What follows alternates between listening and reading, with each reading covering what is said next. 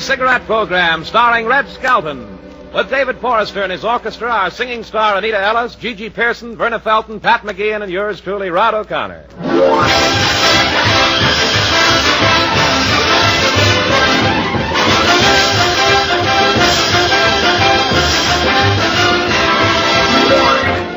It's a pleasure to bring you Metro Goldwyn Mayer's, popular comedian and the star of the Raleigh Cigarette Program, Red Skelton.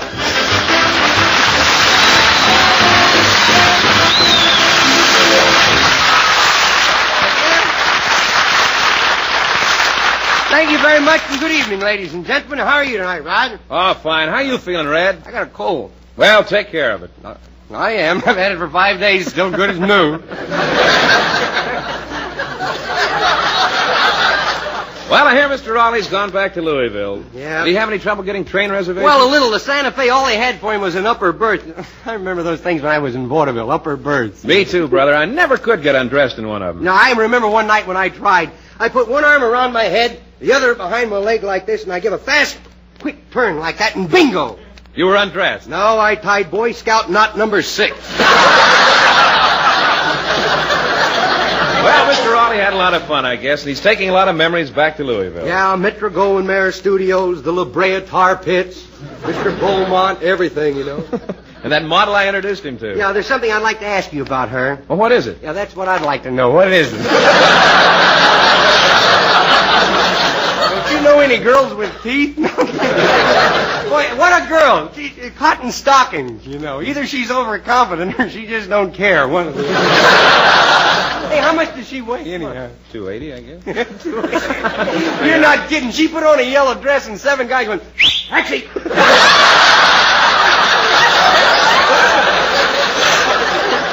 I'm proud of that. That ain't it.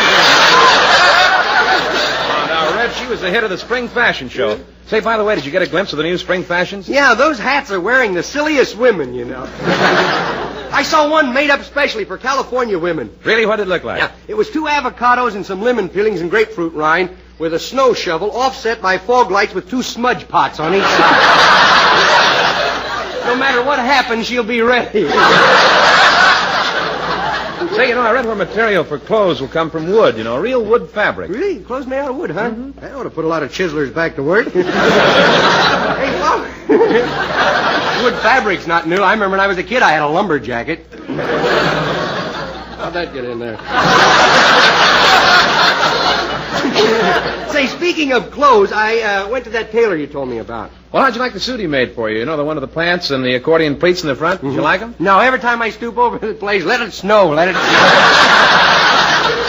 because of the shortage, the, uh, the pants don't have any suspender buttons or belt straps. suspender buttons.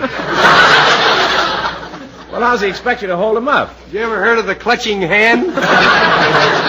Well, how's the material? I got cut out in the rain today with it. Well, what happened? You ever try putting your pants on with a shoehorn? Well, anyway, it was better than that uh, suit you were wearing when you got discharged from the Army. Where did you get that? Blue and white tweed or blue and pink tweed? Yeah, you almost loused me up, didn't Sure you? did. that wasn't blue and pink tweed. Those were moth holes, and the pink part was me.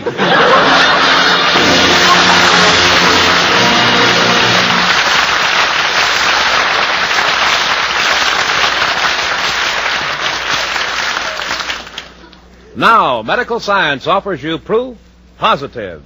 Yes, medical science offers you proof positive. No other leading cigarette is safer to smoke because no other gives you less nicotine, less throat irritating tars than the new, smoother, better tasting Raleigh.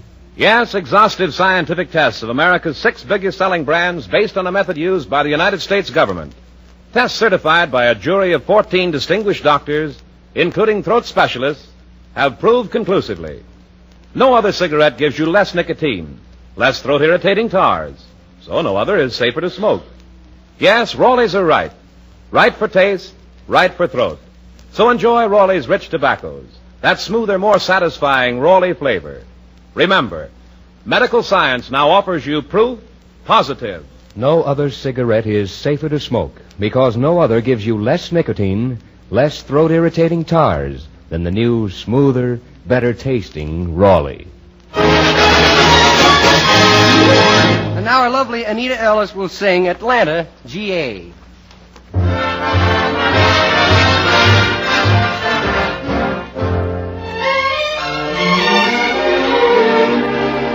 I love the morning glories growing and the breezes softly blowing in Atlanta, I love to wake up in the morning, and see the sun come up at dawning in Atlanta, GA. I love to walk among the flowers and taste the honey from the bees. I wanna while away my hours, reading books and dreaming dreams beneath the trees. I wanna see the ivy clinging, wanna hear the robin singing little songs I adore. I wanna attend the Sunday meeting, wanna hear that friendly greeting when I get home once more. I long to hold that certain someone. I miss him more and more each day. I'm getting ready for a wedding, gonna get the train that's heading for Atlanta, GA. I'm gonna see the ivy clinging, wanna hear the robin singing little songs I adore. I wanna attend the Sunday meeting, wanna hear that friendly greeting when I get home once more. I long to hold that certain someone. I miss him more and more each day. I'm getting ready for a wedding, gonna get the train that's heading for Atlanta. For Atlanta,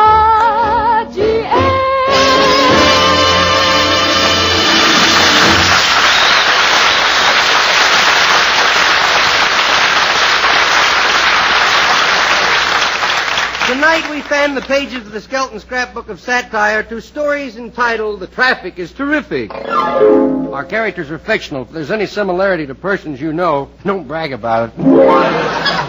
Chapter 102 is titled, entitled uh, Getting a Driver's License.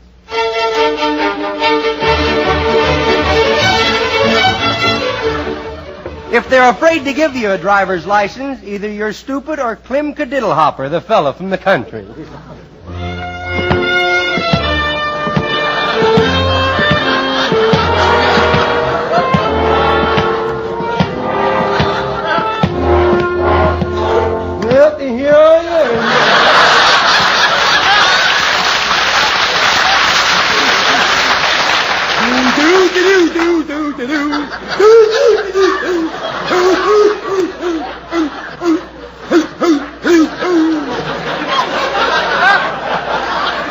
Yes, sir, boy. Spring is here again. I guess I'll drive my new car over that I just bought to see Sarah do. Spend my last dime to buy this car. Of course, I ain't complaining. Where else could you get a better buy for ten cents? well, there's somebody coming down the middle of the road now. There's a sight you very seldom see. Especially in California, a pedestrian standing up. Howdy, Clem. Well, Sarah do, howdy doody to you, too.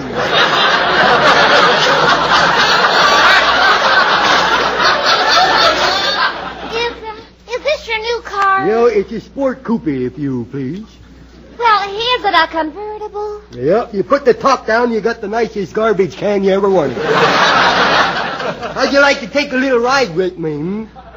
Well, I don't know, Clem. Oh, can you drive? Can I drive? No.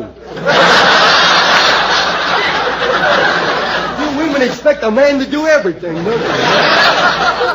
Well, do you have a driver's license? Yeah, can't say that I have, no. Well, then you can't drive without one. Hmm? Oh, come on, Clem. I'm going to take you down to get a driver's license. Okay. I'll hop in the car. Th- This door won't close. I wonder what's keeping it from catching. You didn't give me a chance to pull my ears in. well, here we go. I gotta do something about that ping in the engine.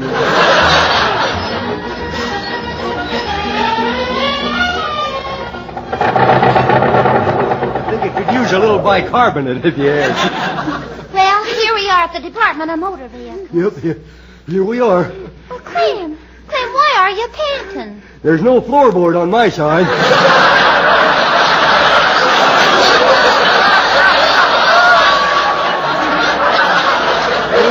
All the way down here. Well,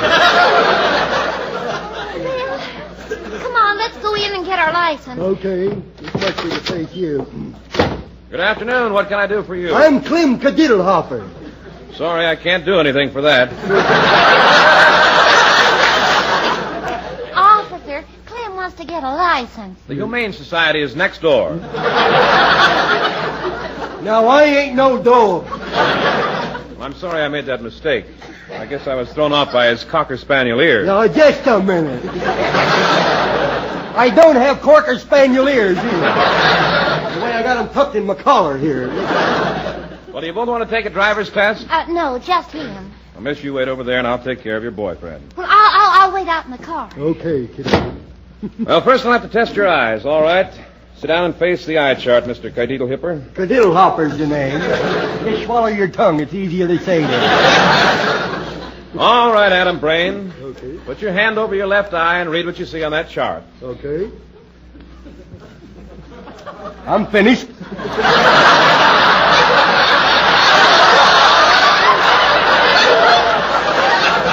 I want you to read it aloud. Well, can't you read?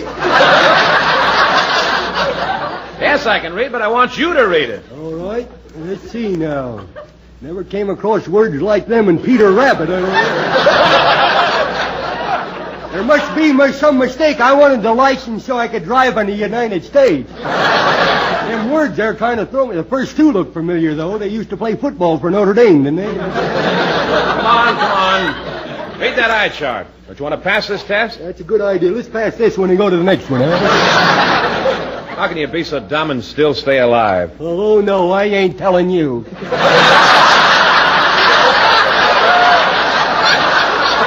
Never give away my professional secrets, I don't. Well, here, see if you can fill out this questionnaire. All right, let's see now. That first question, that's a pretty hard one there. I should have studied up on it, I guess. All it asks is your name. Don't give me any hints. I'll get it from myself. All right, all right. Answer this question. Mm-hmm. Now, if you're crossing an intersection and another car pulls out in front of you, Yeah. what do you do? Have an accident?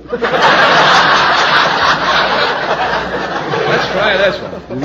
When a pedestrian enters a crosswalk, do you drive by or slow down? That's a very good question. Is she a blonde? We're not getting anywhere with this. Now, let's go out to your car and see if you can pass the driving test. Okay. Come on now, Q-head. We'll see how you can drive. You here. I've got a feeling I'll regret this as long as I live. And with me driving, that won't be long either. Okay, now drive your car up to this trash can and we'll take it from there. That's no trash can. That's my car. Hop in there, hop in. Uh, how'd you make out with the test, Clem? He flunked. And a hundred percent too. Now, here, miss, you sit in the back seat and I'll get in front with your boyfriend. All right, Clem. Now drive around the block. Make it snappy. I've got other things to do, you know. And if you were smart, you'd be doing them too. Here we go. What makes the engine pop like that? I'm using high octane kerosene. Now, you're coming to a safety zone. Do you know what that means? Yes, sir. That means look out for the pedestrians. That's right. Then when you see one, try to beat the other cars to him. Oh, look out, Clem, look out. That car's pulling out from the curb in front of you. Step on the brake. You know which pedal it is? Yeah, I think it's this one.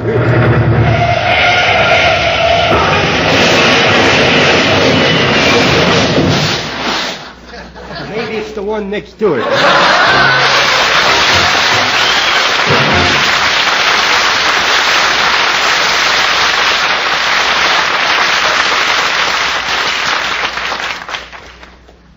Remember, medical science offers you proof positive. Remember, medical science offers you proof positive. No other leading cigarette is safer to smoke. Because no other gives you less nicotine, less throat irritating tars than the new, smoother, better tasting Raleigh. Joseph Cotten, starring in David O. Selznick's Duel in the Sun, says, quote, I've seen the facts. I'm convinced medical science has proved no other cigarette gives you less nicotine, less throat irritating tars. Thus, no other is safer to smoke. I'd rather have a Raleigh. Raleigh's all right. You're right, Joseph Cotten. Raleigh's are right. So try Raleigh's. Enjoy Raleigh's rich tobaccos, that smoother, more satisfying Raleigh flavor. Remember, medical science now offers you proof positive. No other cigarette is safer to smoke because no other gives you less nicotine, less throat irritating tars than the new, smoother, better tasting Raleigh.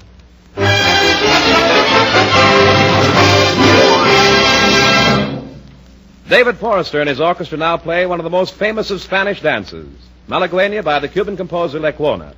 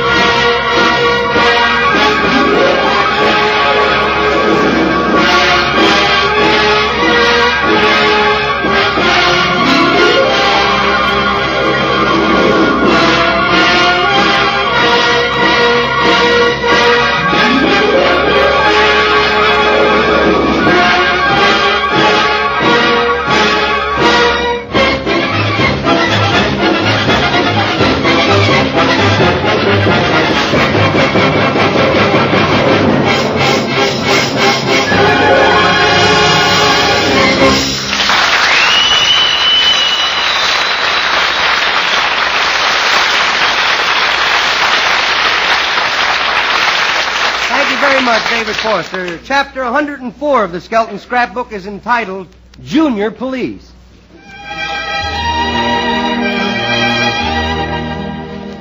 All children should be taught to live a clean and helpful life and respect law and order. This also goes for Junior, the mean widow kid.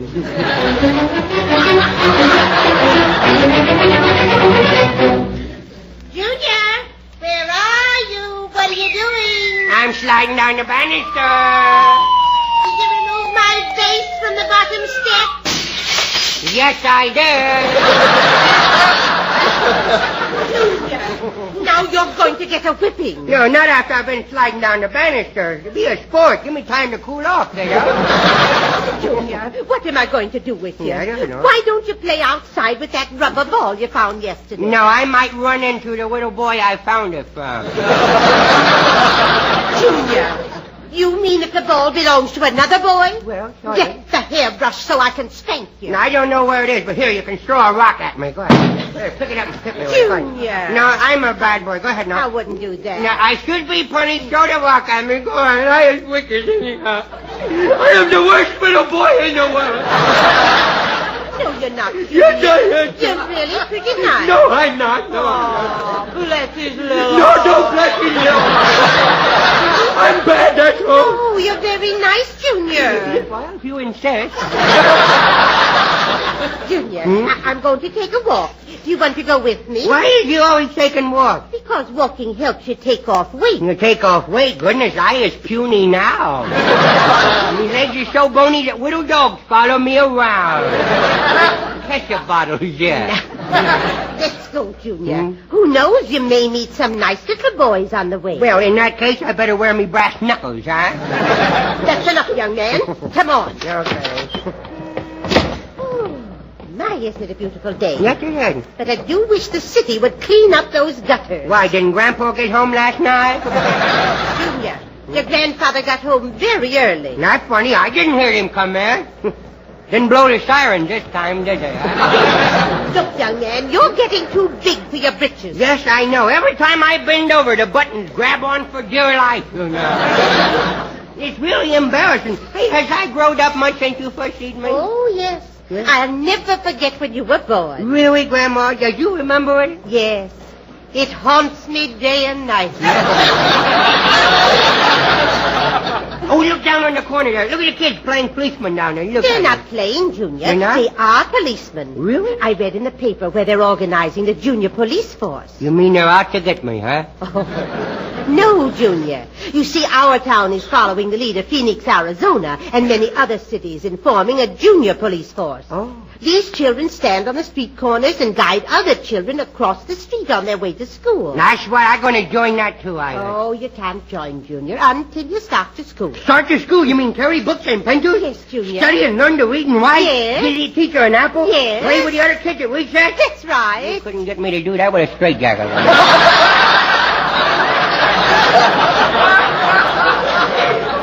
Well, if you're anxious to join the junior police, you'd have to promise to do all you can to make your home and your town a safe place to live in. oh, well, I was getting tired of my chemistry set anyway, you know. Who's that driving? It's the cop. I knew that they finally cut me down. Let me out of here. Let's take it on the lam. The jig's up, Kato. Junior, come back. I'll meet you when it blows over. I know a doctor that can change me face. Oh, that's fine. Good afternoon, madam. Well, what is it you want, officer? I came to see about your little boy. What has he done? Well, I don't know. I don't think he's done anything. You must be a stranger in town. I thought maybe he'd like to join our junior police force. Oh, Oh, he'd love to. Won't you come in, officer? Thank you. Junior, where are you? Junior, I see you under the sofa. Stool pigeon. Come out from under One there. of the mob.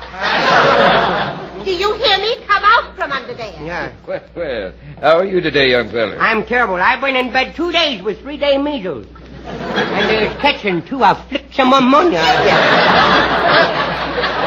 You'll be suppressed. Yeah, he's the one that first he spoke to me, and I don't even know him. Look, Sonny, I, I came to ask you to join the junior police force. Now, you never get... Join the junior police force? That's right. Well, this is not a booby trap, is it? no, son, you look like a nice little gentleman. You better take another look, bud. Junior, won't it be wonderful? You a junior policeman. You mean I can carry a billy club and give people tickets and stuff? Yes, and you wear a red uniform and a badge, and blow a police whistle. Oh, I do believe I've died and gone to heaven. course. Blow the whistle. You know, Junior, you're rather young for the force right now, but Yeah. we are trying to enlist all the little boys and girls in our program Yeah. so they can qualify as soon as they start to school. Really? I got news for you. You're a windy old bird, ain't you? oh, you wait until I get to be a junior policeman and I see some guy driving by and I stop him, boy. Just let me get my hand on him. Uh-huh. And then uh, what will you do to him? well, I will say to him, pull over there. Why don't you drive a little slower and see our city? Or would you rather drive faster and see our jail? Or would you rather see some little kid get killed because of your carelessness? You see, Mr. Driver, you has to protect us little kids because we has been taught that no one really wants to hurt us. And that's why sometimes we run out in the street we just don't think. And if you don't stop your crazy driving, you might hit a man, woman, child, or even a little animal, regardless of what it is. If you carelessly take its life, you'll be responsible for that lonely feeling that's left in a home when that loved one never returns. And the memory of a lifeless widow body won't be worth the five minutes that you tried to save by speeding. Now don't get mad, Mr. Driver, when I give you this ticket because it's merely a memo of safety and not a punishment. I'm proud of that, Junior. You is? Well, okay, kiddo, but when I get to be a policeman, there can be no more spankings, you know. Because you, you molest an officer, you taking the law in your own hands. Now send you so far up the river, kiddo boy, it will take Eskimos to deliver the mail to you. Hale, starting right now, you must try and be a good little boy so that the junior police will take you in. That's what I'm going to do. And I, right now, going to go upstairs and take that bear trap and that five-inch firecracker out of Grandpa's bed.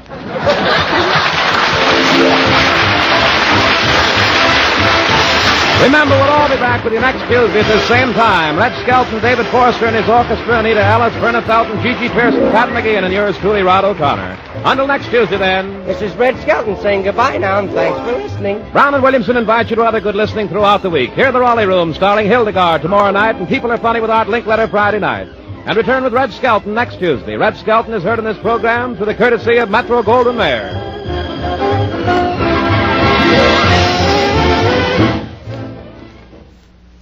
Sir Walter Raleigh, the pipe tobacco that rates superior on all five counts. Check them. A rich, ripe, full-bodied burley blend. Sir Walter Raleigh. Mellowed with rum for extra smoothness. Deep down, satisfying goodness. Sir Walter Raleigh. Clean smoking right down to the bowl bottom. Leaves only a clean, dry ash. Sir Walter Raleigh. Crimp cut for slow, even, cool burning. Sir Walter Raleigh. Keeps home sweet home. The brand of grand aroma. Sir Walter Raleigh. Sooner or later, your favorite tobacco.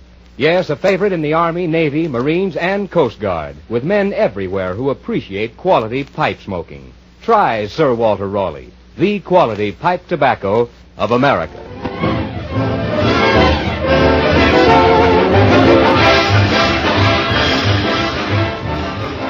Red Skelton is brought to you by the Brown and Williamson Tobacco Corporation.